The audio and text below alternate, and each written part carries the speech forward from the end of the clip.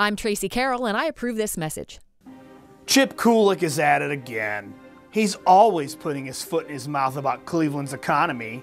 They're all big box stores. And we like going to the big box stores because a lot of times you can find everything you need at one place. If you love big box stores so much, Chip, why don't you marry them? And why do you need to find everything in one place, Chip? Are you too good to drive your gold plated Rolls Royce downtown? Just what are you afraid of?